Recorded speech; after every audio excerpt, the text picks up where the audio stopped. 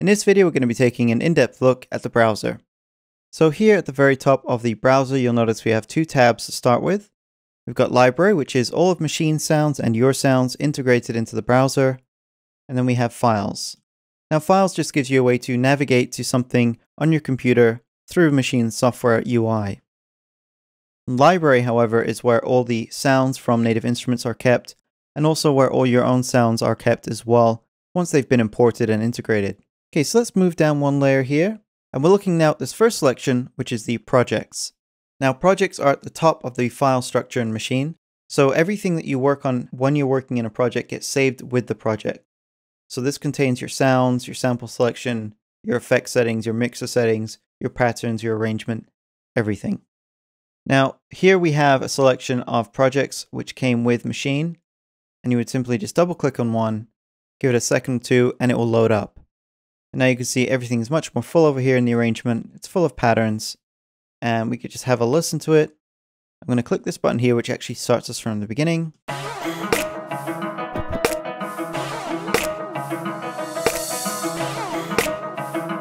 Notice the change now as we go into the next scene.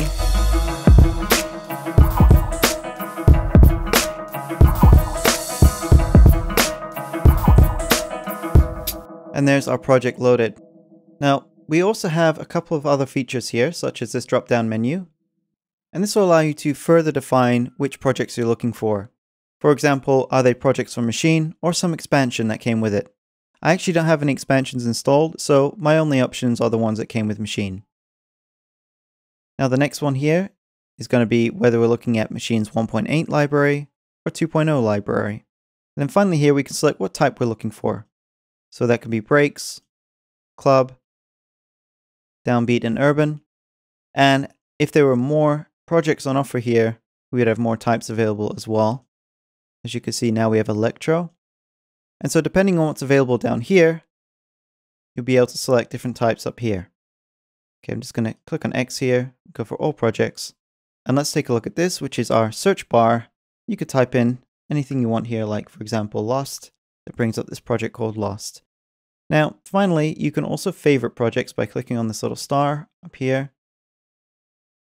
And then when you want to just filter by your favorites, click on the star and it'll show you only the projects that you've favorited. Okay, so these are the projects that come with Maschine. What about projects you've made yourself? Well, if we switch this here from the Native Instruments Maschine library to the User library, you'll be able to see the projects you've made yourself. And in this case, there are two projects that I've created. Yours might be empty, but eventually, of course, as you save your own projects, this will fill out. So let's go back to the factory content now and go to our next section, which is groups. Now a group can contain up to 16 sounds, and they're grouped together, and you might think of these as kits, but fundamentally it's just a collection of 16 sounds, and there are a number of other things included in a group, such as effect settings as well. So for example, let me clear this project right now. And let's just load up a kit. I'm going to double click on it. And here we are.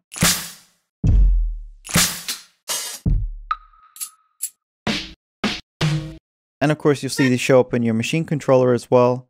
The pads will light up where they once were dim because there are now sounds on those pads. Now you can see this last sound down here has an EQ plugin loaded. So groups can contain these plugins as well, and they'll save with the group. Now we'll be coming back to that aspect of groups later on. Now another things groups can contain are patterns. As you can see here, I can just enter in events, but there's nothing already there. And that's because this control here has been deactivated. If we switch this on and load our kit again, you can see it's now loaded the pattern that came with that group.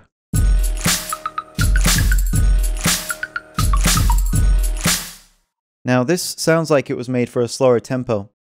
And so you can see that for as many settings are in a group, it's just a subset of your overall project. Now all of these sounds in a group are mixed and combined into a final output, group output here. If we go into the mixer, for example, so instead of all the different sounds in a group coming up in a mixer, we just see the group output, which is a stereo output, and so it's like a bus output in your DAW.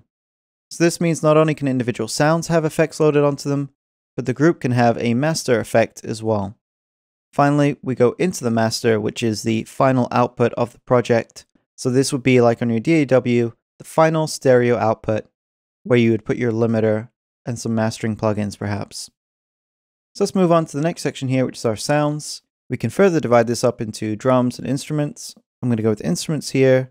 Let's check out the choir sounds. So I'm going to drag this one down here, replace that. And you can hear there we've got that sound.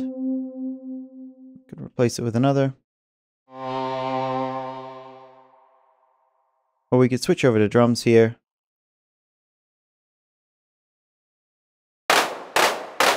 And so you'll notice now that this has been loaded into the group. And in fact, if I click on any of these right now, while I've got this sound highlighted, or this slot highlighted, it'll load that sound into this slot. That's because I've got auto load on down here. I'll just turn that off real quickly.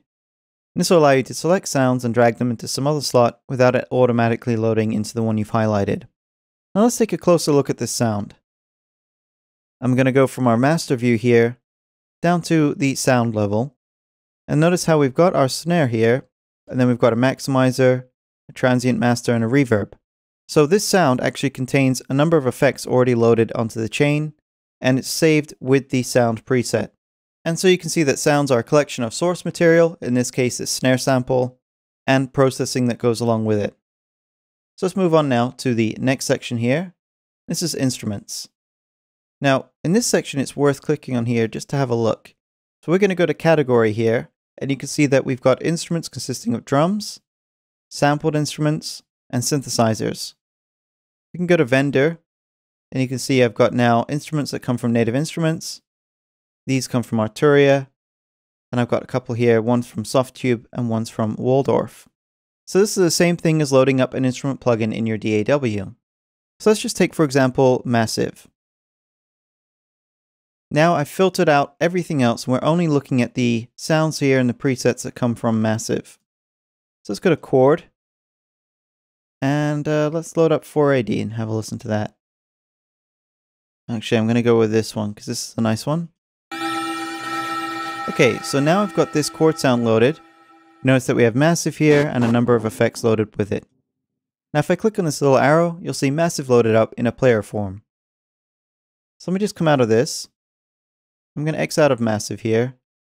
Instead, I'm going to choose the Arturia SEM. Let's go with this one. And notice now I can bring up the plugin, the Arturia SEM. So that's what instruments are. They're pretty much your instrument plugins that you're used to in your DAW, such as Kontakt and your synthesizers and so on. Now, I actually have many more plugins than what's on display here. So why am I only seeing this small selection? Well, it's because these particular plugins have been updated with the NKS format, which is Maschine's library format, which means Maschine sees them and sees their presets as well, and they can be integrated into the browser and accessed directly in Maschine's browser like this. It doesn't mean I don't have access to the rest of my plugins, however. For example, if I just click right here, you'll see I have a whole list here. I've got internal, which are Maschine's own plugins, all the native instruments plugins that I own, then of course all my individual plugins such as say Sylenth, as an example. Okay, now don't worry if all of this seems a bit too much to you because we are going to come back to this later on. Let's move on now to our effects. This is very straightforward. It's the same thing as our plugins, but instead of instruments now we're looking at effects. So let's load up a compressor for example. Prairie Comp's one of my favorites. Just grab this here. Make sure I'm going to come down to where there's an empty slot. Just drag it on there.